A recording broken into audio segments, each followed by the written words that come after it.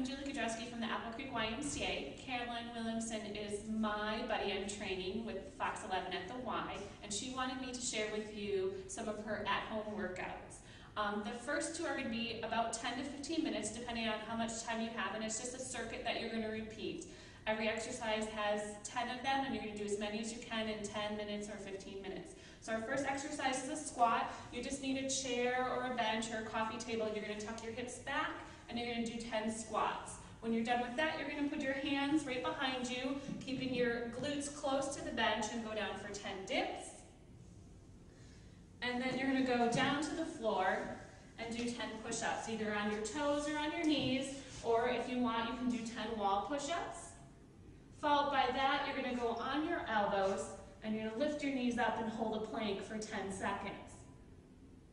That's one circuit through, and then you're going to repeat